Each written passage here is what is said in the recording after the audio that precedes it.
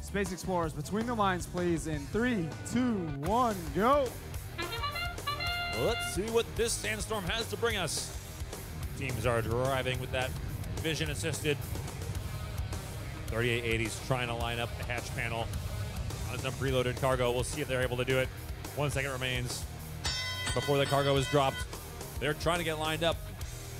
Tiki Tech's almost there. They may just about get it, but no, they may lose the cargo. Oh, not quite enough time.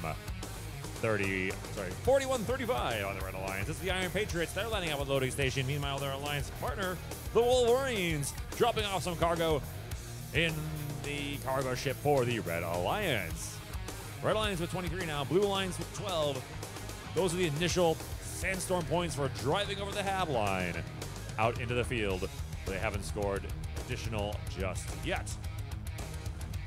There's some more additional for the Red Alliance and actually Blue Alliance as well. It looks like they've placed a hatch panel and they've dropped off a piece of cargo there for the Blue Alliance side. Blue Alliance also seems to have scored two hatch panels, bringing them to a score of 19. But Red Alliance is in the lead with a score of 28. We've got a third piece of cargo delivered from the Wolverines on the Red Alliance side, and they're over to the loading station to grab more. That's three, four pieces of cargo delivered so far in the Red Alliance. Cargo ship, 24, 73 on blue. That's the Gold Strikers. They're delivering another hatch panel to the second level of one rocket. Looks like they're trying to prep that rocket for takeoff with some extra cargo. If they can do that, they'll earn the extra ranking point bonus. T minus 47 seconds remain. Tiki Techs are lined up to provide some much needed lift for their alliance partners to get up to level 3, looking for that 12 point bonus. Some cargo being delivered to one of the open slots in the Red Alliance cargo ship. Make sure need to make sure we have a hatch panel on there in advance.